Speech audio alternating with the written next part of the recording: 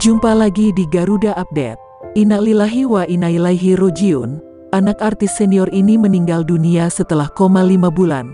Sang mantan pacar cerita masa lalu yang pernah didatangi lewat mimpi. Sebelum lanjut luangkanlah jari Anda untuk menekan tombol subscribe terlebih dahulu agar kalian tak ketinggalan info terupdate dari kami. Mari simak videonya.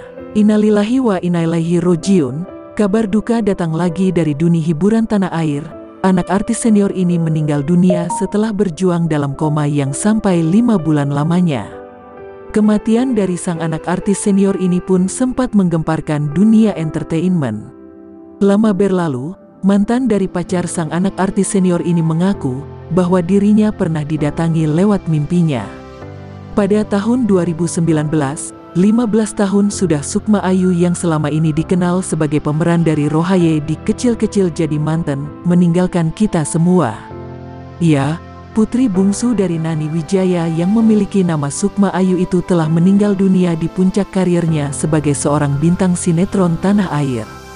Sukma Ayu meninggal pada tanggal 25 September tahun 2004 yang lalu, setelah almarhumah mengalami koma selama lima bulan lebih.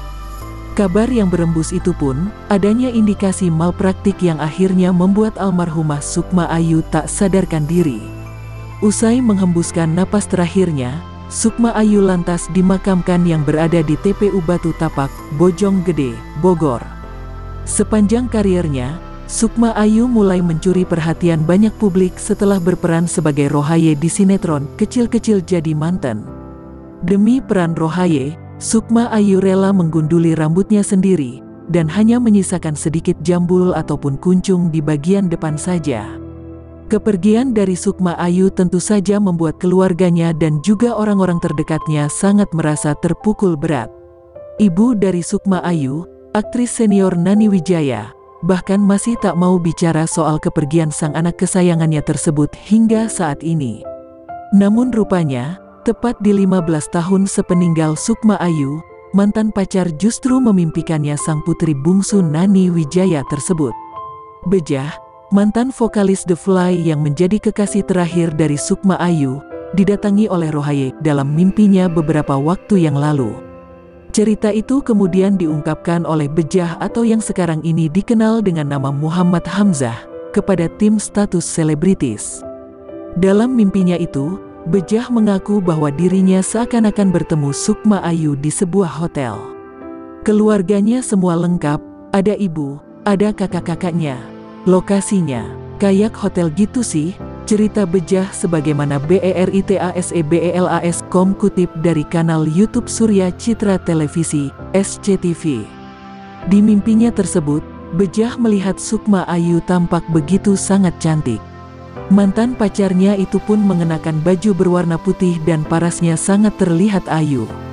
Sukma Ayu juga menyempatkan bicara kepada Bejah.